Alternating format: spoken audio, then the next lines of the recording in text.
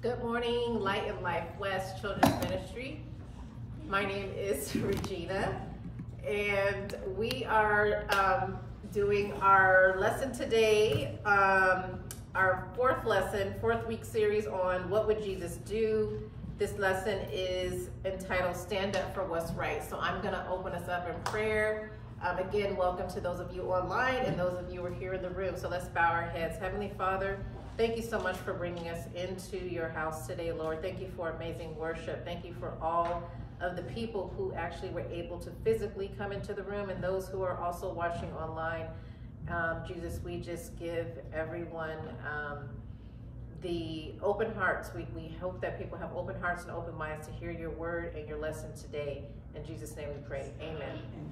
Okay, so we are doing our lesson four on standing up for what's right. This is good.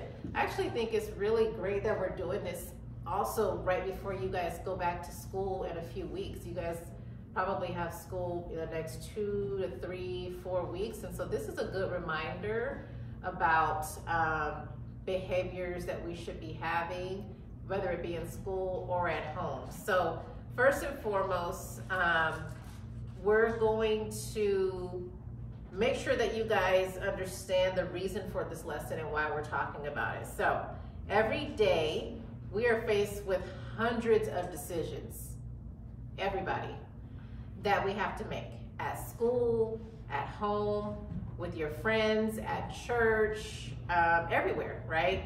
And some decisions are very easy and some decisions are very hard, right?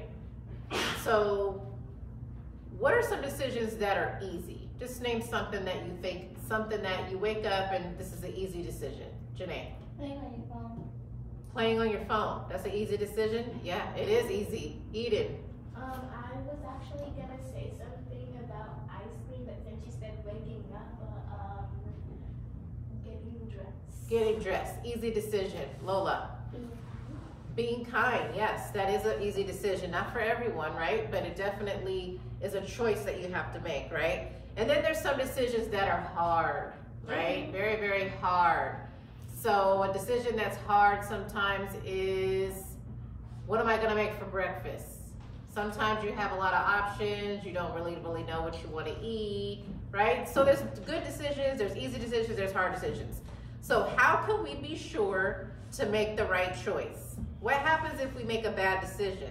It can be overwhelming in those moments, we can ask, what would Jesus do, right? That's something that we've been learning about this whole series, this lesson of what would Jesus do. Jesus helps us make the right decision, right? Right? Yes. Okay, good. I hope so. How do we allow Jesus to help us make the right decision? Eden. We pray. We pray. Absolutely. We pray. What else do we do to help to have Jesus help us make the right decision. Lola. Follow his what? Steps. Follow his steps. How do we follow his steps? What do we do? Being kind and pray. Where do you learn his steps? In your heart. And how do we, to learn Jesus' steps, what do you have to do to learn his steps? Believe in Jesus. Yep, yep, you do have to believe in Jesus. We also have to what? Read the Bible. We have to read the Bible. We have to be around people who are believing and living in the Word so that we can remember to always follow His steps, right? To do the right thing. So Jesus stood for what's right. When we people are hurting and suffering, He step um, He steps forward and helps them. And when people are doing the wrong thing, Jesus would speak the truth and tell them that's what happened the day Jesus arrived at the temple. The temple was the house of God where people would come to pray and where people would offer sacrifices to God for their sins. So just like church, right? People come, they ask for forgiveness, and it's supposed to be a godly place. But the people had turned God's house into a market. They had turned it into just something that was not of God. They weren't doing the right thing. There were animals being sold for sacrifice. So instead of honoring God, they were making money off of people. And Jesus wouldn't stand for that. So you have to be very conscious, you guys, of the places that you enter that are supposed to be of God. And when they're not of God, you have to do what? Sometimes we have to stand up for what's right. We have to say something. Or sometimes you have to just remove yourself if that's not a place that you should be, right?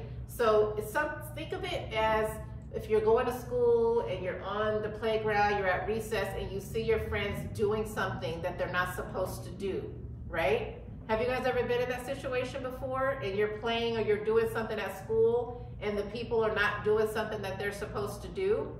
What did you guys do in that scenario? Has anyone, does anyone want to share an example of what they did? Eden.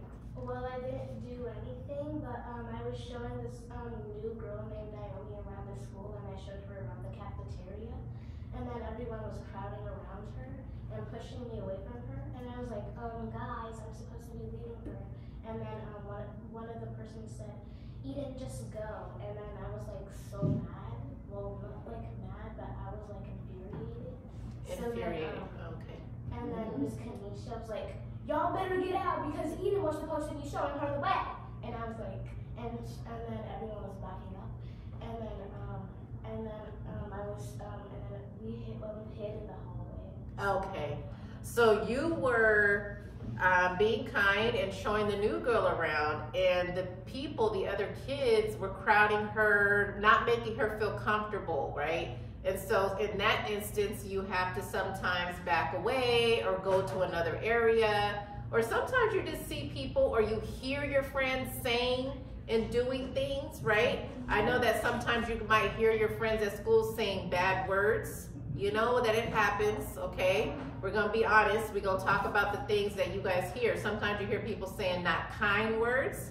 And what are you guys supposed to do? You're not supposed to be of that same energy, right? You guys are not supposed to do that. So you guys gotta be very conscious of that. So I'm gonna read you um, for what, so what happened when um, Jesus went into the temple. So it's coming from Matthew 21, uh, verse 12 through 16.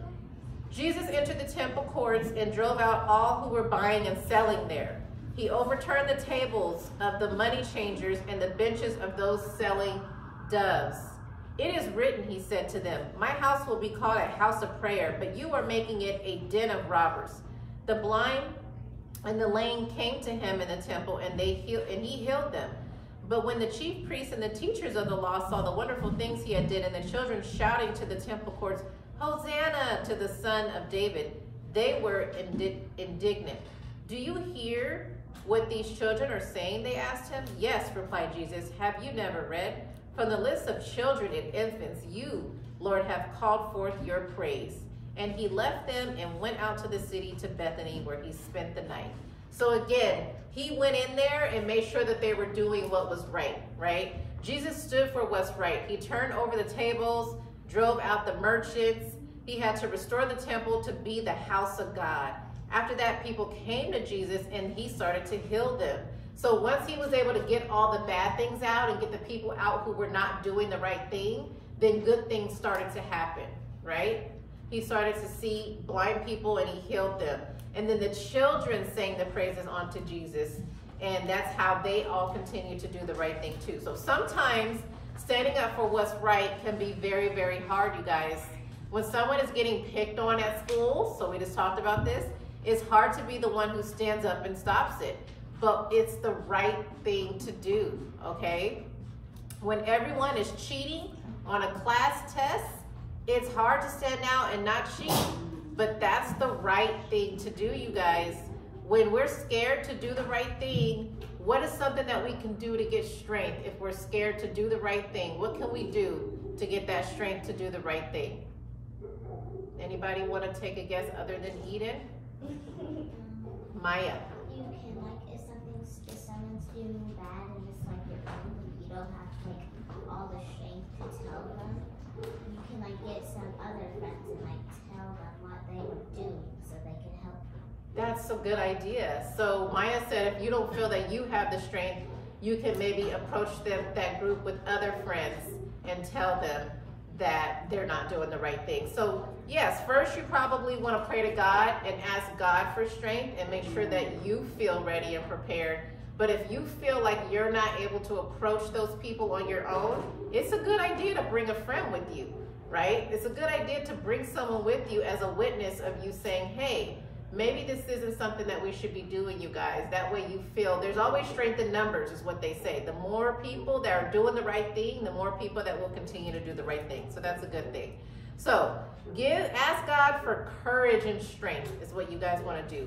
He will give us what we need um, when you see something wrong, you can be the one who stands up for what's right. It's what Jesus would do, and it's what Jesus told us to do. So, you guys, this is a decision that children and adults are faced with every single day. This is not just teacher Regina and all of your teachers telling this to you because you're children. This is stuff that we actually have to do ourselves. You know, we go out into the world as adults and we're also faced with challenges. We're also seeing people sometimes do things that they're not supposed to do, and it takes a lot of courage for us to confront those people. So, a funny thing, and maybe not so direct, right? But you know how cars have horns on them? Mm-hmm.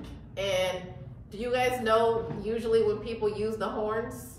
It's usually when someone's not doing what they're supposed to do, right? So you're at a red light, or you're or you're at a stop sign and you see something happening and you beep beep beep beep beep you're honking the horn you're saying stop stop stop or do you see me? Or it's a very indirect way of trying to help someone or trying to get someone to do what they're supposed to do. And then of course there's there's more difficult things that sometimes you have to have a conversation with someone because maybe they're not doing the right thing. Or in the reverse maybe you're not doing the right thing right? And someone has to have a conversation with you. How do you think that feels? Sometimes it can be hard to receive that feedback and receive that information, but when you're a child of God, you got to be open to that, right? You got to be open to receiving that feedback, especially if it's coming from a good place and it is coming from a person of God. So you guys got to know how to, you'll learn later, I'm sure, one of our lessons, and as you get older, about the discernment of people and understanding the hearts of people who are who are talking to you, who are interacting with you, who is giving feedback to you, learning learning their heart. Because anytime you're telling someone that they shouldn't be doing something, you don't have to do it in a mean way, you guys. You don't have to be rude about it. You don't got to be angry about it. You should do it in a what way? How should you be telling someone? It. Um, how, how should you approach someone? Like in a kind and and very calm yeah, kind and calm and loving way, right? Because we are lovers of people. We're lovers of all of God's people. Caleb.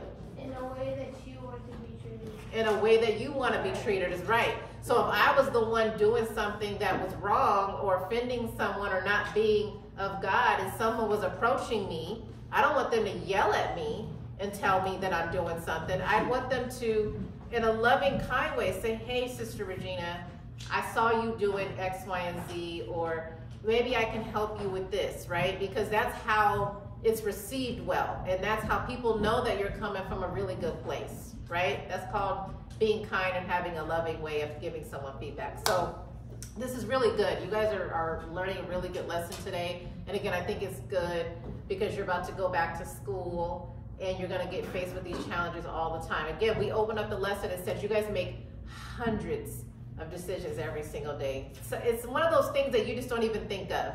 You wake up and you're just making a decision every day. You decide what kind of shoes you're going to wear. You decide how long you're going to brush your teeth in the morning. You decide, you know, what you're going to eat for lunch. So every day you have the opportunity to make good decisions. And when you see someone else not making a good decision, you can choose to step in. You don't have to, but God would want you to step in if you're able. Okay? Does that make sense? Any questions? Do you guys think that you're going to be able to go out into the world and make good decisions every day? Yes. Do you think that you're going to be able to stand up for what's right? Good, good. That's what God calls us to do. All right, good. So I'm going to close us out in prayer, and then we will get into our uh, craft for today and our Bible verse. Actually, I'll read the verse and close us out in prayer. So our memory verse is let us not become weary in doing good, for at the proper time we will reap a harvest if we don't give up. And that is coming from Galatians 6 9. We'll reap a harvest if we don't give up. That means we will see all that God has called us for, that we will receive all that He has given us. We will win. We will be successful if we continue to do these things, right? Okay, so I'm going to close this out in prayer. Heavenly Father, thank you so much for your word today, Lord. Help us to continue to choose good and to con- continue to do what's right when faced with those uh, opportunities and those decisions every single day. Lord, we know that every single day is a choice to walk with you and be for you. Lord, help us to be loving and kind in our ways.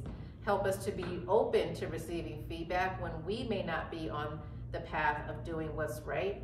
Jesus, we thank you so much for your word and your direction. And we know that if we follow your word, that we will continue to go closer to you and that we will be followers of you and loving people in this world. We thank you everything for everything. In Jesus' name we pray. Amen.